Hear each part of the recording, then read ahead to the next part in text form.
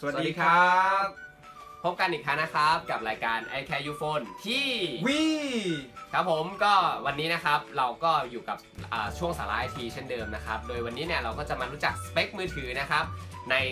สิ่งต่อไปนะครับอ่านอกจากที่เรารู้จักตัว CPU นะครับใน part ที่ 1 ไปแล้วนะครับ เรามารู้จัก ส่วนที่เป็นส่วนสำคัญนะครับของมือถืออีกตัวหนึ่งที่เราควรจะรู้เอาไว้นะครับ ว่าเวลาเราเลือกซื้อแล้วเนี่ยเราจะต้องดูตัวนี้เนี่ยเราใช้งานอะไรอย่างไรบ้างนะใช่ครับอ่านั่นคือตัวเมื่อเราพูดถึง CPU นะฮะตัวที่จะทำงานร่วมกับ CPU นั่นก็คือหน่วยความจำหคน่วรัยบความจำนะนะคครัรับบผมว่า CPU เนี่ยมีหน่วยความจำมันน้อยนิดนะาคือไว้คิดอย่างเดียว CPU คิดอย่างเดียวไม่จำติ๊กนะอย่างเดียวนะครับฉะนั้นก็จะเป็นหน่วยความจำที่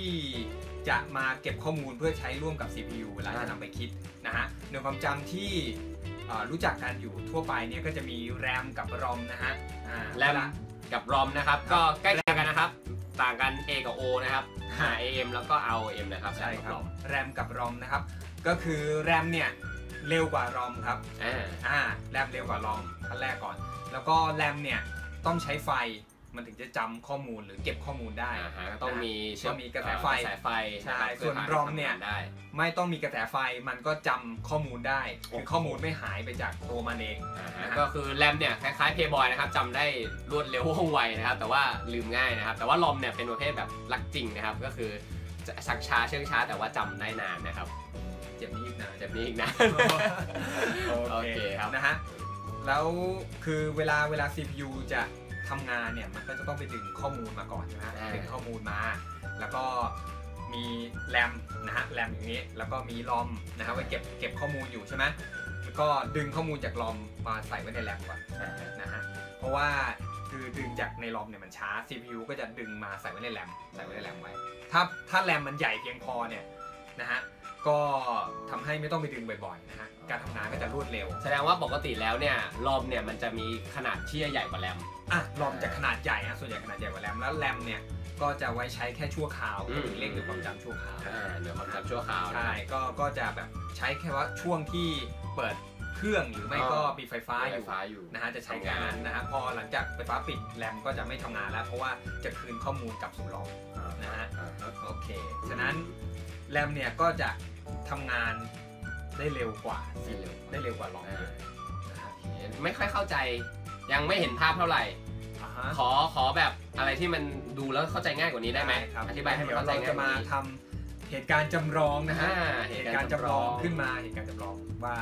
มันจะทำงานประมาณอย่างไหน อ๋อให้เข้าใจง่ายนะครับเพื่อให้เข้าใจง่ายนะครับโอเคเดี๋ยวเราไปดูเลยครับวิธีการทำงานของรอบกับแรมครับ ปึ๊บอืมเอาละครับ นี่นะครับสมมุติว่าตัวนี้เป็นรอม โต๊ะตัวนี้นะครับเป็นแรมนะฮะเวลาผมจะทำงานเนี่ยถ้าผมไปนั่งเปิดปุ๊บแล้วก็ทำทำทำเปิดหาข้อมูลนะฮะเปิดนู่นนั่นนี่โอ้โหมันค่อนข้างจะช้านะฮะถ้าต้องมานั่งทำตรงนี้นะฮะสิ่งที่ผมจะทำก็คือว่าผมก็จะดึงนะฮะงานออกมานะฮะดึงงานออกมาดึงออกมาดึงออกมาทำงานทำงาน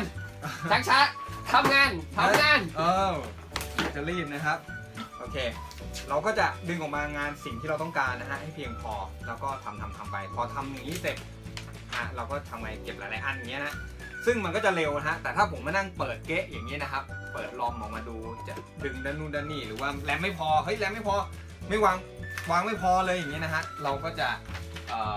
ต้องมานั่งเปิดนะฮะแล้วก็ใส่เก็บเข้าไปก่อนนะฮะงานมันก็จะช้านะครับ พอเราเก็บเข้าไปก่อนเนี่ยปึ๊บปึ๊บอะเปิดอันใหม่ออกมานะครับ มีอันใหม่ออกมาอย่างนี้นะฮะซึ่งทำหลาย ๆ ครั้งอย่างนี้นะฮะกว่าจะปึ๊บปึ๊บปึ๊บมันก็ช้าฉะนั้นแรมเนี่ยถ้ามีใหญ่นะฮะก็จะมีพื้นที่มากมายเพียงพอ ซึ่งเราก็จะสามารถทำให้ทำงานได้เร็วขึ้นนะฮะประมาณนี้ แล้วพอเอ่อถ้าไม่มีไฟนะฮะสมมุติว่าถ้าผมยังไม่เก็บเนี่ยเดี๋ยวทำงานทำงานอยู่หรือว่าเอ่อเครื่องแบตหมดไป สมมุติว่ากำลังเปิดดูอะไรอยู่เนี่ยนะฮะข้อมูลที่นี่เนี่ยมันก็จะ หายไปนะฮะหายไปจากตรงนี้แต่ว่าข้อมูลในลอมเนี่ยจะไม่หายนะฮะแม้ว่าไฟจะดับไปนะฮะสมมติว่าไฟดับปุ๊บไฟติดโอ้พระเจ้าจอร์ดงานมันหายไป ซึ่งถ้าเราไม่ทันเก็บไปเนี่ยมันก็จะหายไปนะฮะประมาณอย่างนี้นะครับ แต่ถ้าเราเอ่อเก็บไว้นะตอนที่ไฟจะดับนะฮะหรือว่าไม่มีไฟเข้ามาเนี่ยข้อมูลทั้งหมดที่เมื่อกี้ทำไว้ก็จะอยู่ในนี้นะครับอ่าประมาณ นี้นะครับ เอาละฮึบฮึบละครับ โอเคนะครับอ๋อเข้าใจได้ง่ายมากขึ้นเลยนะครับ ว่าตัวรอมกับตัวแรมเนี่ยทำงานกันยังไงบ้างนะนะคครัรับบก็มันก็เป็นอย่างนี้แหละครับ ฉะนั้นอืม ถ้าให้ผมแนะนำนะครับ คือมือถือเนี่ย ถ้าใช้แรมนะฮะ ประมาณปัจจุบันเนี่ย ที่ควรจะเป็นพื้นฐานเลยน่าจะรัก2จิกครับ สองจิกจะทำให้ไม่ช้าจนเกินไปอ่าการทำงานได้ต่อเนื่องลื่พอนไหลสมนะคครับ วรผมใช่ครับ ถ้าดีขึ้นมาหน่อยก็3จิกนะฮะ ดีมากๆก็ 4 ซึ่งปัจจุบันเรือธงส่วนใหญ่ก็ประมาณนี้ฮะประมาณ4จิกสี่จิกนะฮะแต่ว่าปีหน้าต้องก็ไม่ต้องปีหน้าละฮะเนี่ยเร็วๆเนี้ยอ่าเร็วๆภายในปีนี้เนี่ยก็จะเป็น6จิกละนะฮะฉะนั้นพื้นฐานจริงๆ ผมบอกได้เลยว่าควรจะ2จิกนะครับอืมผมแล้วก็ถ้าเป็นรอมนะฮะ ROM รอมที่คิดว่าใช้ได้แบบ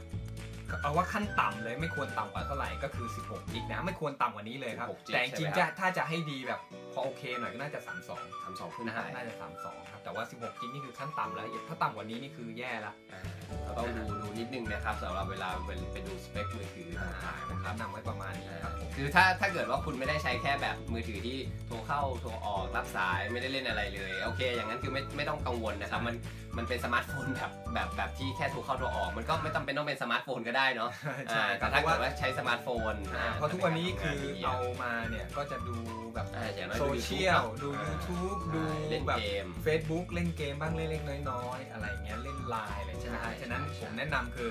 ไม่ต่ำกว่า 2 นะฮะ แรมไม่ต่ำกว่า2กิกแล้วก็รอมไม่ต่ำกว่า 16 นะฮะ ไม่ต้องต้องไม่ต่ำกว่านั้น อันนี้นะครับเป็นแบบว่า minimum เลย minimum minimum มากแล้วนะครับเยอะเลยนะครับ แต่ถ้าจะให้ดีก็สักแรมสัก3แล้วก็ ROM สัก32นะครับนะครับโอเคครับก็